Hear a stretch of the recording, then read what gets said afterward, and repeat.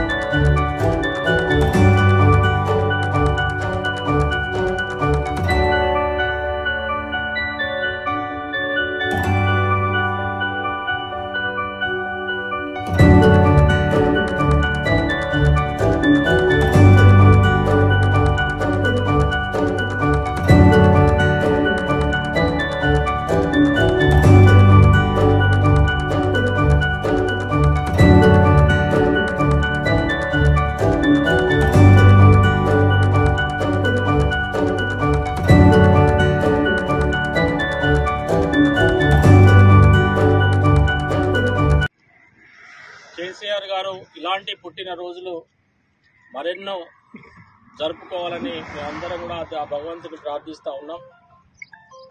ఇలా రైతును రాజు చేయడం కోసం గౌరవ ముఖ్యమంత్రి కేసీఆర్ గారు రైతుల కోసం అనేక కార్యక్రమాలు తీసుకోవడం జరిగింది.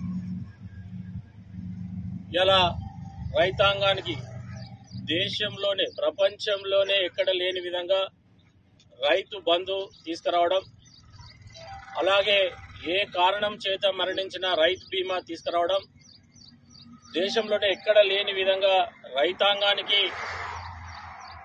ఉచితంగా మరి వ్యవసాయానికి ఇరవై నాలుగు గంటల కరెంటు ఉచితంగా ఇవ్వడం అలాగే రికార్డు సమయంలో కాళేశ్వరం ప్రాజెక్టు ద్వారా ప్రతి ఎకరానికి నీళ్ళిచ్చే కార్యక్రమాన్ని చేపట్టడం జరిగింది. తెలంగాణ తెచ్చుకున్న రెండు వేల పద్నాలుగు తర్వాత తెలంగాణ ప్రాంతంలో రైతుల యొక్క పరిస్థితి మారిపోయింది ఈరోజు. ఎక్కడికెళ్ళినా రోడ్డుకు ఇరుపక్కల ఒక పచ్చటి కార్పెట్ వేసినట్టుగా పంట పొలాలతో మరి విరసిల్లుతా ఉన్నది. ఇలా దేశమే ఆశ్చర్యపోయే విధంగా మొన్నటికి మొన్న మీరు చూశారు.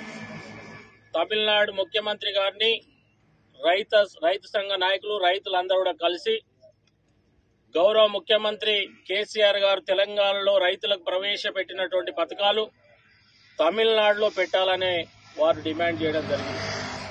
ఇలా ఒక్క తమిళనాడులే కాదు దేశవ్యాప్తంగా తెలంగాణ రాష్ట్రంలో గౌరవ ముఖ్యమంత్రి గారు పేద వర్గాలకు బడుగు బలహీన వర్గాలకు ప్రవేశపెట్టినటువంటి సంక్షేమ కార్యక్రమాలన్నీ కూడా మన తెలంగాణ రాష్ట్రంలో ఉన్నటువంటి పథకాలన్నీ కూడా కాపీ కొట్టి మరి భారతీయ జనతా పార్టీ అలాగే మిగతా ప్రాంతీయ పార్టీలు అన్నీ కూడా వారి వారి మేనిఫెస్టోలో పెడతా ఉన్నారు.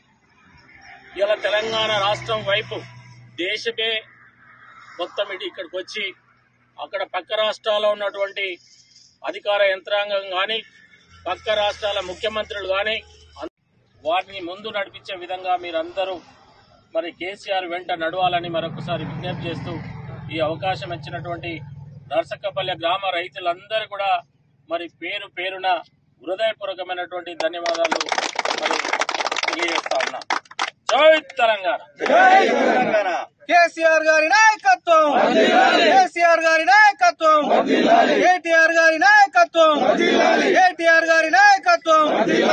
నాగూర్ల వెంకన్న గారి నాయకత్వం.